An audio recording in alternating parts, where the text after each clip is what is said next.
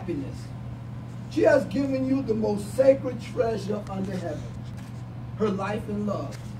The continuance of those virtues as of as the giving and receiving, excuse me, uh, as a husband will ensure her blessed and keep her uh, heart fast and knit to yours.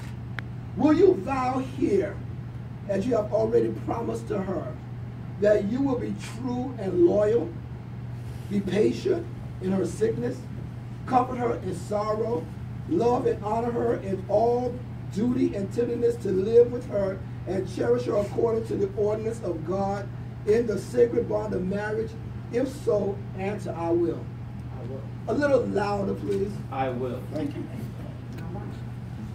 Nicole, in your life and love, will you take James and treat him with health and inspiration? He will love you. He will love you for, excuse me, he will love you for cheer, for encouragement, and for confidence. May your life be the inspiration and your love be the protection he will need. Will you vow here, as you have already promised him, that you will be patient in adversity, minister to him in affliction, comfort him in sorrow, love and honor him according to the ordinance of God in the sacred bond of marriage? If so, answer, I will. I will. Thank you. You may now join hands and declare before God and these witnesses and each other your solemn marriage covenant. So join hands. Uh, will you come and take these?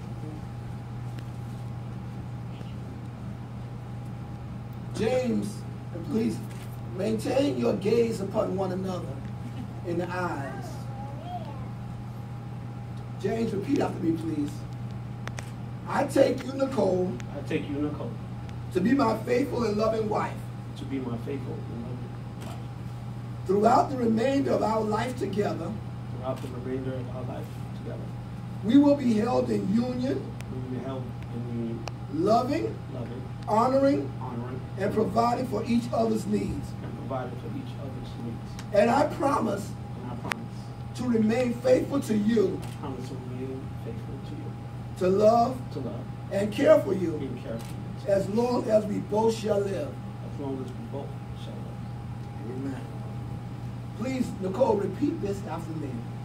I take you, James, I take you, James, to be my faithful and loving husband to be my faithful and loving husband. throughout the remainder of our life together. Throughout the remainder of our life together, We will be held in union, we will be held in union, loving, loving, honoring, honoring, and providing and providing for each other's needs. for each other's needs. And I promise And I promise to remain faithful to you. to remain faithful to you, to love to love and care for you and care for you as long as long as we both shall as live. we both shall live.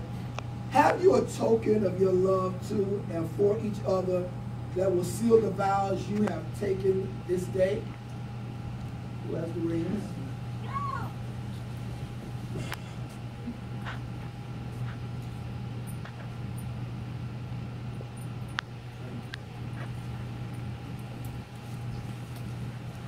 These rings represent an unbroken bond, no beginning and no end.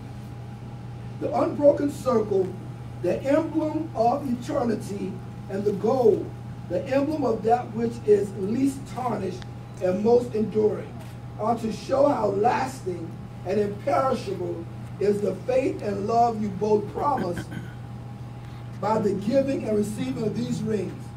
With these emblems of purity and endless devotion, you are sealing your marriage vows forever.